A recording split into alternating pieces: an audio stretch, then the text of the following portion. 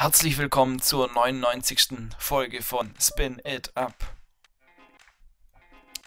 Bald haben wir Geburtstag. Unser 100. Geburtstag. Und ein hohes Spin. Ja, was heißt ein hohes? Ein 28er. Mit dabei.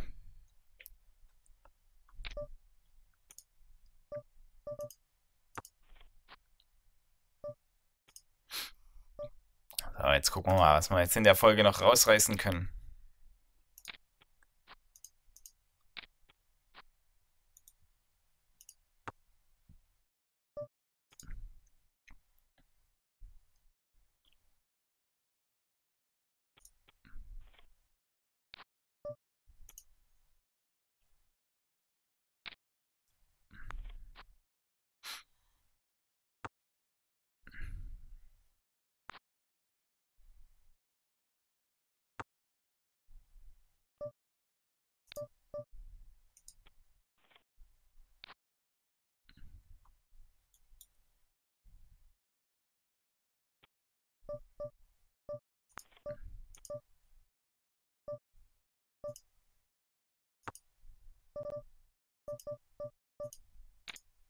Ace Queen.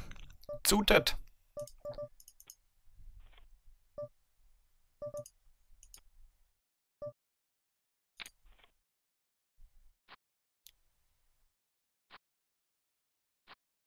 Bam. The river. Barry Greenstein. Ace on the river. Oh, ist der der Tilt? Nope. Aber hier müssen wir, glaube ich, Ass 5 callen nach der Hand. Dur 4. Ah. Nach der Hand, die gerade passiert ist, ähm, könnte es schon sein, dass er zu weit schippt.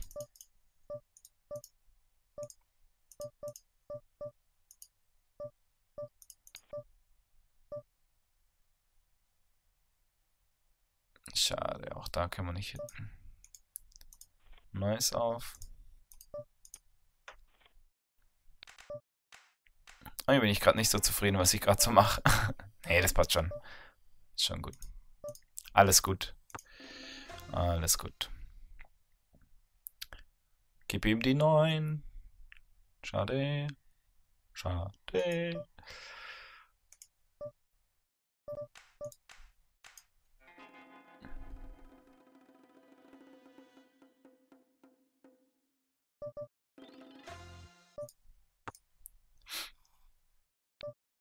El Negro.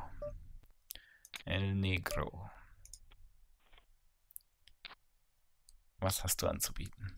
Also hier wollen wir nicht sie betten. Ähm, ist gar kein gutes Board zum sie betten. Jetzt wird das Board schon ein bisschen besser zum sie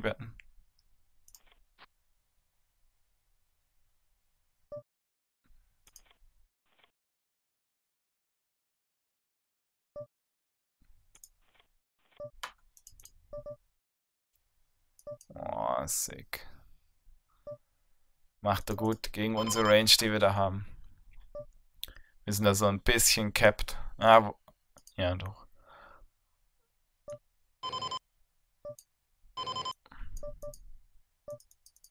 Sick. Weil er kann es ja genauso mit einem Check spielen, aber genauso auch mit Draws spielen. Ah, da habe ich halt keinen Read auf ihn. Das ist. Weil viele Leute machen es halt dann doch nicht mit dem Check, weil sie denken, ach, sie verlieren Value, aber ja, nichts genaues weiß man nicht. Okay, wenn er jetzt da so schippt, glaube ich, dass er einen Check gehabt hat.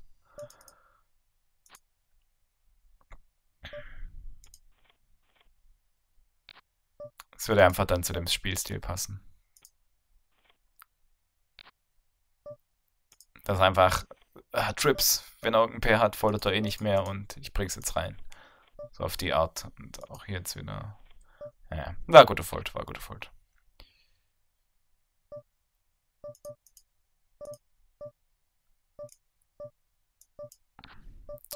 Oh, es läuft gerade irgendwie überhaupt gar nicht so gut. Wir nirgends einen richtigen Stack. König 6, damit 10. Boah. Blah. Blah. Mann, läuft nicht, läuft nicht, läuft nicht. Oh, das ist bis jetzt eine ganz, ganz schlechte Folge. Die Folge 99. Oh. Ach, das ist...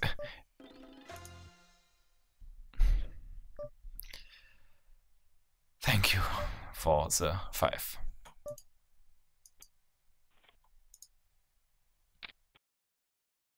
Am Anfang dachte ich, dass er halt hier relativ oft halt eine starke Hand schippt. Oder halt, dass er eine starke Hand mit dem Stack schippt. Aber nachdem er es so oft gemacht hat,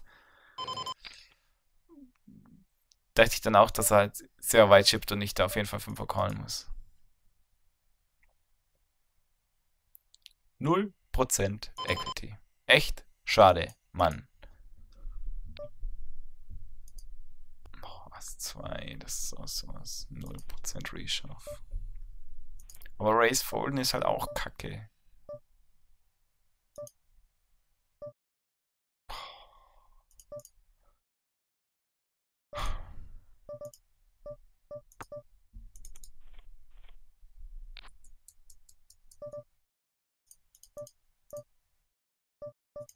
Eins hat er den Jack am River gehittet, ich bin mir so sicher.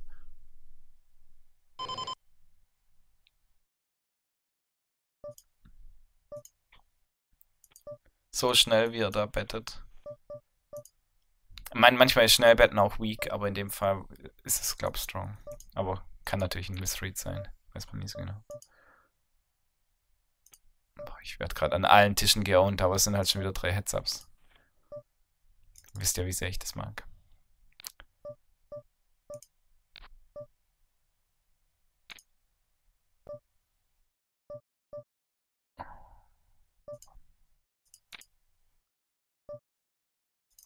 Oh nein, hier ist dann nur noch bei dem Blind Level.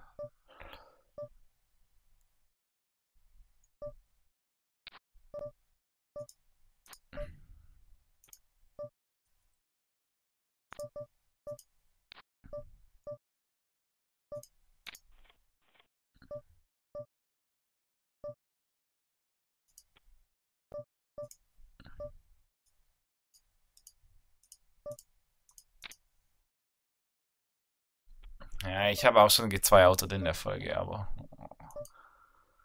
doch nicht so eklig am River. Oh Mann, ist das eine toll. Ich glaube, wir, glaub, wir schaffen es echt, dass wir ganz am Ende von, also jetzt nach den zwei Folgen jetzt doch auf Null sind.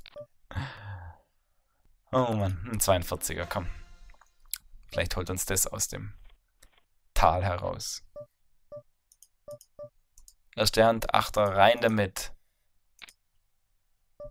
Rein damit.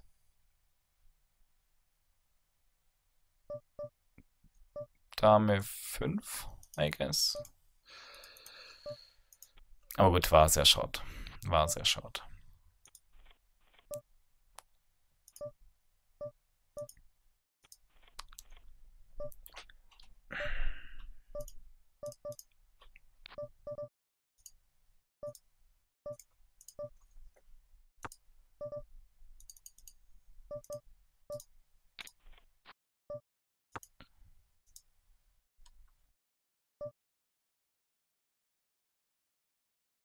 Okay, das ist jetzt echt ärgerlich. Es wäre so schön, das 28er gewonnen gewesen. Zack.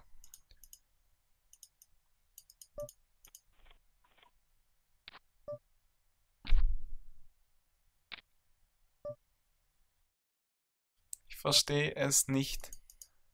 Ich kann in den großen Dingen nichts gewinnen.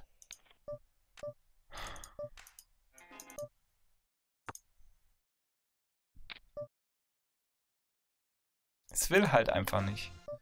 Wenn wir uns mal den Graphen angucken, ist es. Zack, wir sind halt wirklich runter auf 18 Dollar, wenn man mal das, ähm,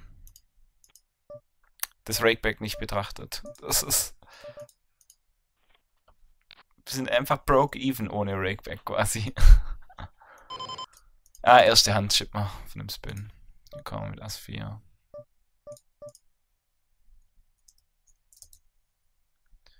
Auch das verlieren wir. Schippen wir gleich die nächste Hand. Zwei Hände hintereinander. Ja.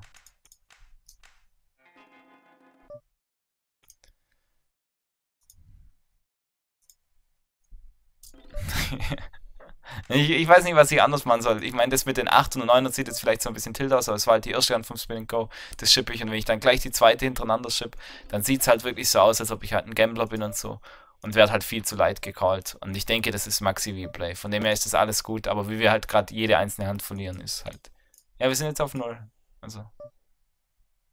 Ja, 4 Dollar. Wir sind auf 0. Wir sind auf fucking 0. nice. Also selbst wenn wir jetzt das 42er gewinnen, das bringt uns halt auch nichts.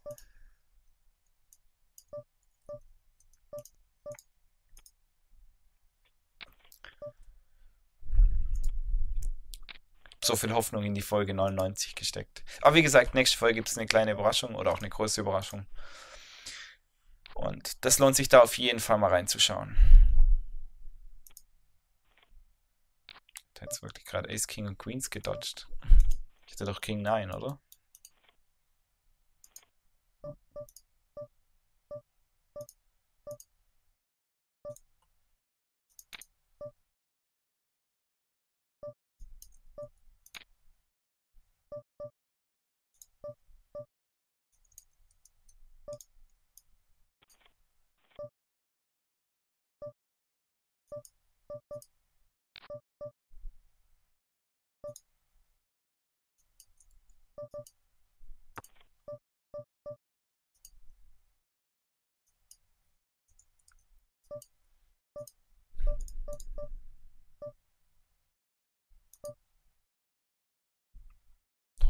Ich, ahne schon wieder ganz Böses.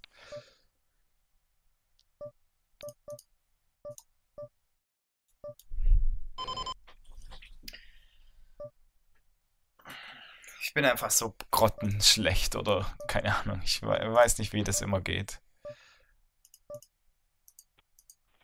Wie die das machen.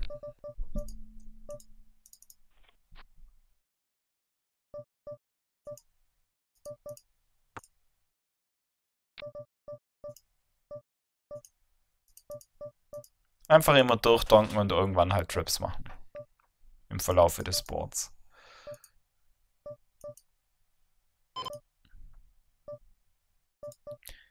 Ich verstehe es nicht.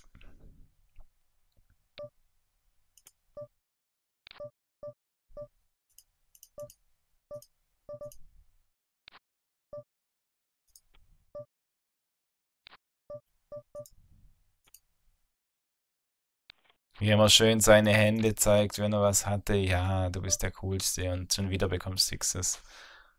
So ist aber weggepickt. Sposti.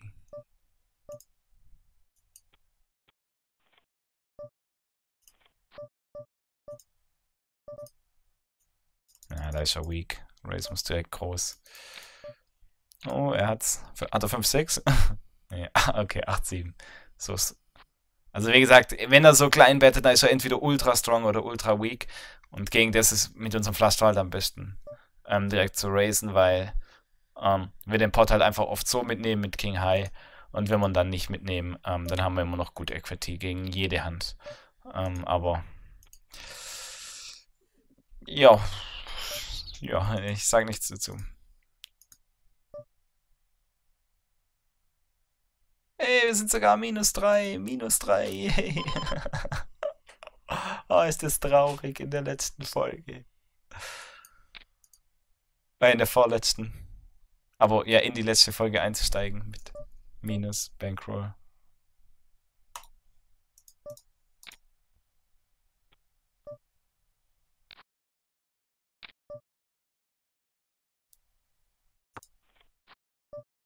Aber gut, wir haben ja noch zwei offen.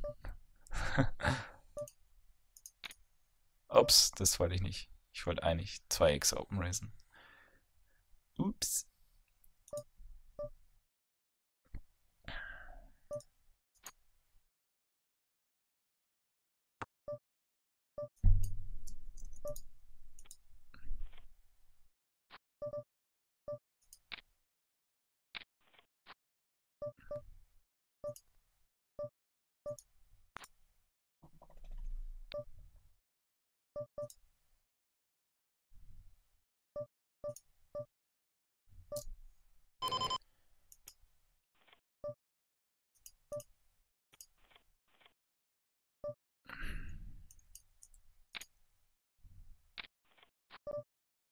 So, jetzt, jetzt gucken wir, was er sich diesmal zusammenbaut. Der baut sich irgendwas.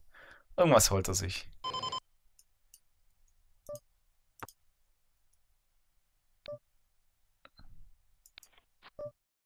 Okay, er braucht nicht mal den River. Was ist es? 8-6? Queen 8? Ah, keine Ahnung. Rein damit und weinen. Jack Race foldet dann noch. Nice. Nice.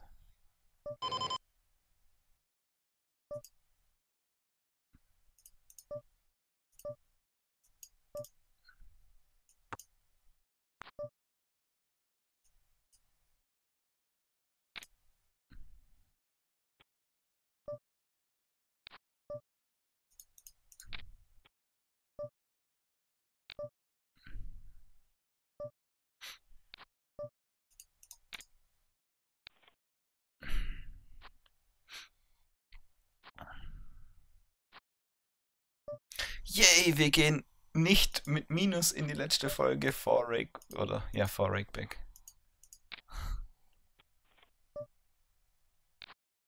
Wir sind 11 Dollar im Plus. Yay! oh Mann. Nee, aber wie gesagt, also Rakeback ist was ganz, ganz Wichtiges in den Spins und das muss man auch auf jeden Fall zurechnen. Ich habe sogar ein ziemlich geringes Rakeback eingestellt von, glaube 15%. Ähm, weil ich einfach nicht so ein hohes Rakeback auch bekomme. Also das ist auch das, was ich so grob bekomme. Ähm, aber das, ähm, wenn man halt, und das hatte ich auch schon gesagt, wenn man richtig grindet, also die Dinger richtig grindet, dann ähm, hat man auch eher ein Rakeback von 30% und das macht halt dann noch einen riesen Unterschied. Und Rakeback macht einfach einen großer Teil der Winnings bei den Spinning Goals aus. Das ist einfach so. Ups. Sorry.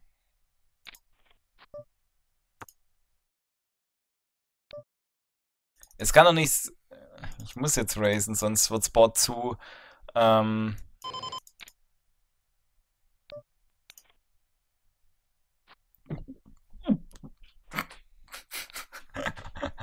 ähm...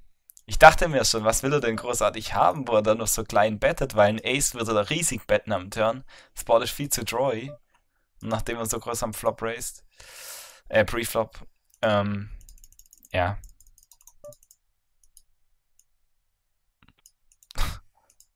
Ist dann auch wieder geil, aber egal.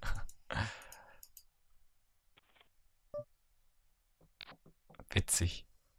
Ja, jetzt kommen wir. Up. Come on. Ups. Jetzt wird er mich nicht noch ein Comeback machen lassen. Jetzt habe ich schon wieder 250 Chips. Chips any two. Split Pot. Split Pot. Schade, nicht. Ähm, okay. Gut, das war die 99. Folge. Wir sind bei 7 Dollar plus. Ne, 4 Dollar plus. Ne, 11 Dollar. 11 Dollar plus, ja. Und, ähm, beziehungsweise bei 68 Dollar plus. Und in der nächsten Folge ist dann die 100. Folge. Da werden wir, das wird eine größere Resümee-Folge sein und ähm, es wird noch eine Überraschung zusätzlich geben. Seid gespannt und bis dann. Ciao, ciao.